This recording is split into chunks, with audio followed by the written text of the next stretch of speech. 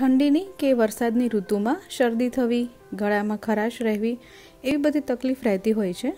તો આજે આપણે એ બધી વસ્તુમાં રાહત આપે તેવી તજ અને લીંબુની ચા બનાવવાની રેસીપી જોઈશું, જે તમને શરદી ખાંસીમાં રાહત આપશે અને બની પણ ફટાફટ જાય છે. તો હું છું Nirali, welcome to my channel, my cooking Diva. તો ચાલો રેસીપી જોઈ લઈએ.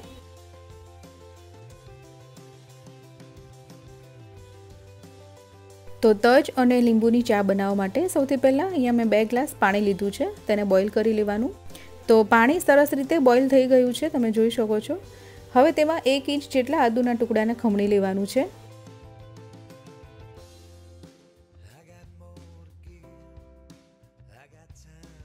ત્યાર પછી તેમાં એક ચમચી તજનો પાવડર ઉમેરી દેવાનો છે. જો અહીંયા તમારી પાસે તજનો પાવડર નથી, તો આખા તજના ટુકડા પણ ઉમેરી શકાય. અને હવે પાંચથી સાત મિનિટ જેવું આ પાણીને બોઇલ થવા દેવાનું છે. તો પાંચ મિનિટ જેવું થઈ ગયું છે અને પાણી સરસ બોઇલ થઈ ગયું છે. ગેસ હવે બંધ કરી દેવાનો છે.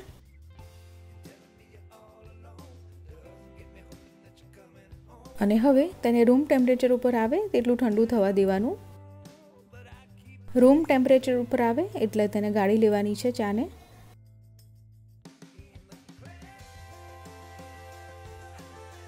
હવે જેમાં ચા સર્વ કરવાની છે, તે કપ લઈ લેવાના છે. તેમાં એક ચમચી મધ ઉમેરવાનું છે બંને કપમાં. અહીં એ વાતનું ધ્યાન રાખવાનું કે બહુ એકદમ વધારે ગરમ ચા હોય તેમાં મધ નહીં ઉમેરવાનું. રૂમ ટેમ્પરેચર ઉપર આવે અને તમે હુંફાળું પી શકો. તેટલી ગરમ હોય ત્યારે જ તેમાં મધ ઉમેરવાનું.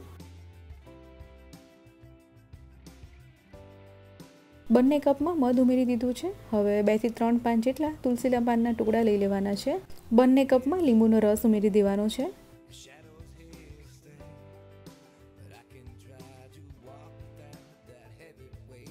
અને હવે તેમાં ચા અથવા તો તજવાળું પાણી જે પણ તમે કહો તેને સર્વ કરી લેવાનું.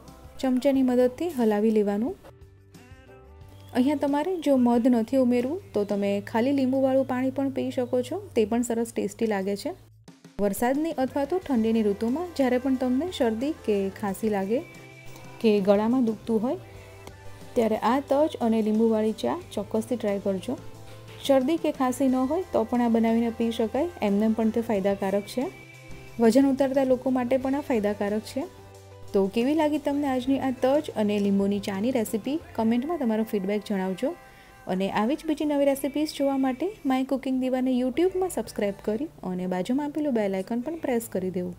તો ચાલો ફરી મળીએ નવી રેસિપી સાથે. ત્યાં સુધી બાય બાય ટેક કેર